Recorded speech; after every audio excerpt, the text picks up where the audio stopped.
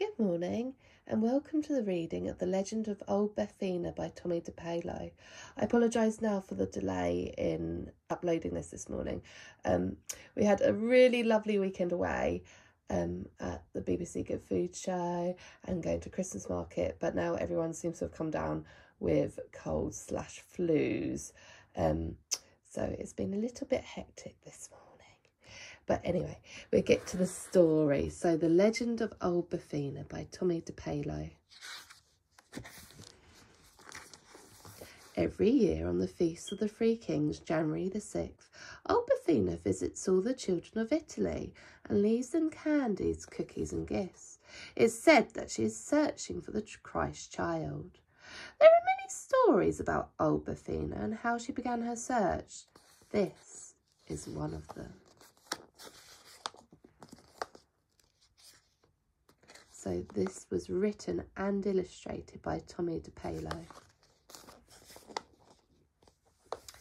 In a small house on the outskirts of a small village in Italy lived old Befana. She lived all alone and she wasn't very friendly. If any people dared to knock at her door, she never asked them in. I have no time for visiting, old Befana would say. The children didn't like her either. Cranky old lady, they said, and the way she's always sweeping. That was very true. Every day, every morning and afternoon, old Befana would sweep with her broom. She swept her little house, she swept her front step, and she even swept her walk all the way down the road. Sometimes a delicious smell of things baking would drift from old Befana's house. Whom does she bake for? her neighbours would ask. And some night she thought she heard the singing lullabies. Crazy old Befana, everybody called her. One evening, after old Befana had eaten her dinner and swept her kitchen clean, she began to get ready for bed. She locked the door and shuttered the windows. Then she climbed into her bed and blew out the lamp and fell asleep. In the middle of the night, old Befana woke. The room was bright. How can that be? she asked. My lamp is out, my windows are shuttered, but still my house is filled with light. She got out of bed and crossed the cold floor. Then she opened the shutter, and a sudden burst of light poured into the room. In the eastern sky she saw a brilliant star, which seemed to grow before her eyes. Humph, said old Befana, closing the shutter as tightly as she could.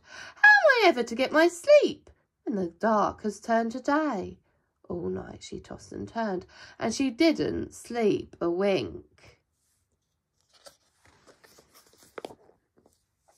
At dawn, old Befana got up and dressed. She ate her breakfast and took her broom, as she always did. Every day, every morning and afternoon, she swept her little house. She swept the front step, and she even swept the walk all the way down the road. When she neared the road, old stopped and listened. She heard bells tinkling. It's probably just the wind, she said. Sweep, sweep, sweep. Again, she heard the bells. It's probably just the birds singing. Sweep, sweep, sweep.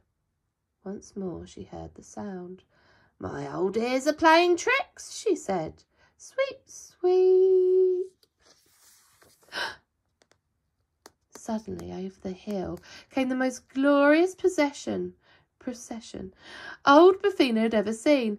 Camels, horses, elephants and people. A splendid sight. Halfway back rode three royal-looking men dressed in jewelled robes, wearing crowns upon their heads.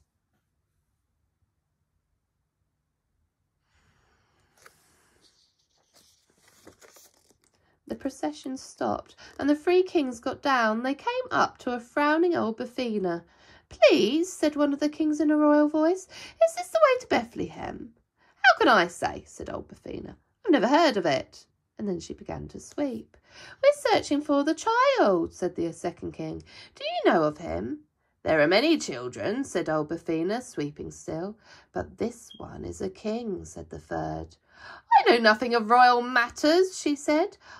Our books have told us said the kings, that when a bright new star appears, the child king will be born in Bethlehem. The star I've seen, said Old Befana. It kept me awake all night. Now, if you excuse me, I have work to do.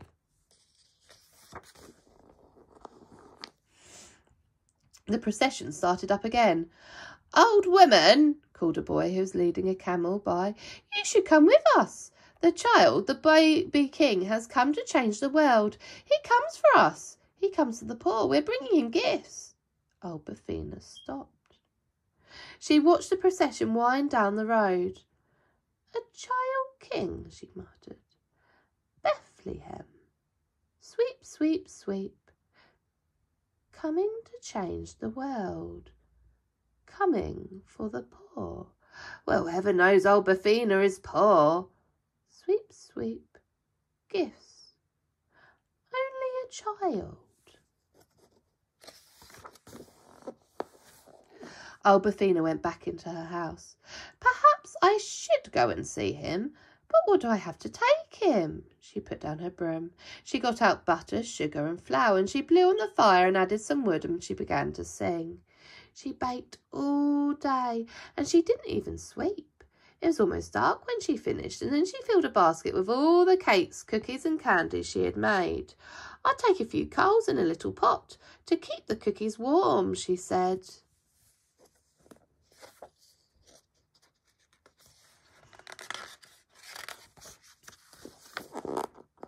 She put on her shawl and opened the door. I'll take along my broom to sweep the room clean, for the old ki- the baby king's mother will be tired. Old Befana stopped. She hadn't swept all day. It won't take me long, she said. She put down the basket and began to sweep. She swept her little house, she swept her front step, and she even swept her walk, all the way down the road.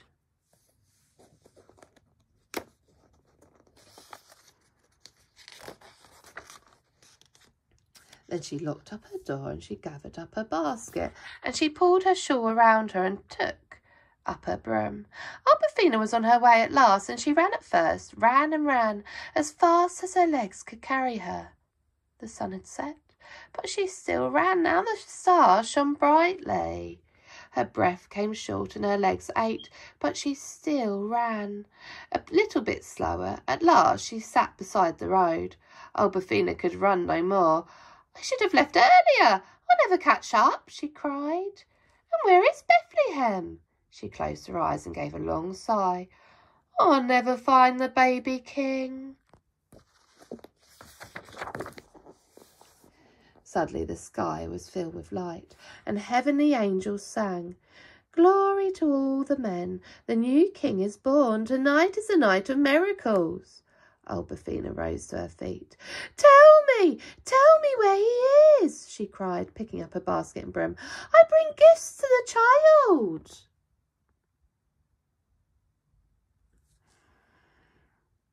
She began to walk, then run again. This is the night of miracles, the angels sang once more. Wait, she shouted. You must help me. Show me the way to Bethlehem. Old Befana began to feel lighter.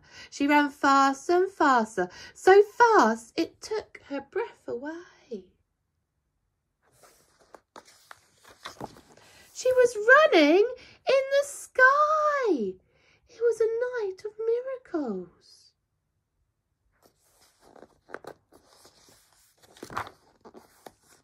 Old Befana never caught up, alas. She never found the child in Bethlehem, but she is searching still to this day.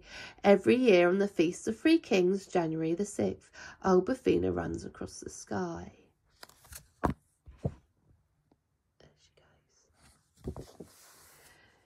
She visits all the children while they sleep and leaves them gifts from her basket.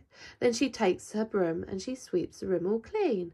For after all, says the old Befana, I never know which child might be the baby king of Bethlehem.